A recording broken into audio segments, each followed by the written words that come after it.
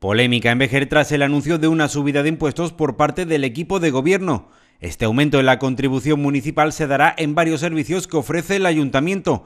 Concretamente, en el agua que subirá 50 céntimos mensuales, el IBI que se incrementará en un 0,05% y los impuestos que más subirán serán el de circulación y el de basuras que aumentará en un 10% con respecto a la contribución actual.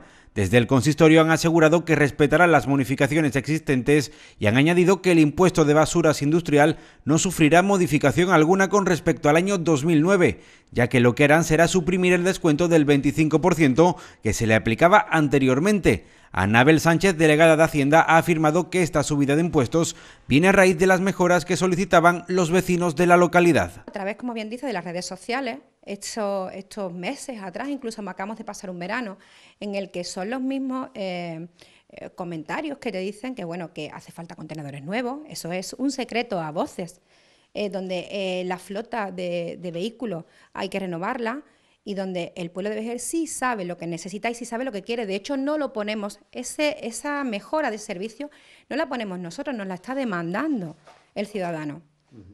Y para cubrir esa mejora de servicio es por lo que nos hemos tenido que plantear el estudio de esas ordenanzas con la subida que grave en lo menos posible la economía de la, de la familia vejeriega. Ante esta situación, el Partido Socialista también se ha manifestado y ha hecho hincapié en que esto puede pasar a nivel nacional si no se acude a las urnas el próximo 10 de noviembre. En el municipio de Vejer, aquellos que ganaron las elecciones democráticamente diciendo que no iban a subir eh, los impuestos, hoy precisamente nos hemos desayunado un vídeo del Ayuntamiento de Vejer, promovido precisamente en las redes sociales del alcalde de Vejer, diciéndole a los vecinos con dibujitos que van a subir los impuestos. Con lo cual, miedo precisamente es no las consecuencias de no ir a votar, lo que nos puede pasar. Eso es lo que puede generar miedo en este país.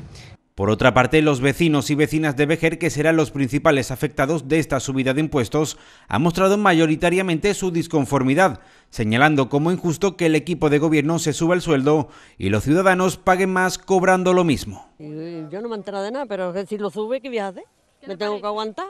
No, a mí no me gusta. No me gusta que, que lo suba. Cuando yo lo vea se lo voy a decir. Que no me suba, que soy muy pobre y yo no puedo pagar. Subí, subí, subí, subí. Aunque digan que en ocho años la han subido. Pero claro, para el que paga es el que le cuesta trabajo, ¿no? Y alguna gente que no tiene ni para pagar luz, ni para pagar agua, ni para nada. Eh, no sé si habrán subido los sueldos de ellos o algo, ¿no? algo han comentado por ahí. Aunque si suben los sueldos de ellos, pues ellos que nos ayudan a pagar los impuestos. Ellos han subido, vamos. No lo veo normal, que tenga tanta subida, ni estamos en un tiempo que no hay mucho dinero y no se debe de subir tanto. Con respecto a la subida de sueldos, la delegada de Hacienda ha insistido en que se ha llevado a cabo porque los concejales pagan todo de su propio salario, a diferencia de anteriores gobiernos que pasaban dietas, transporte y otros gastos al ayuntamiento.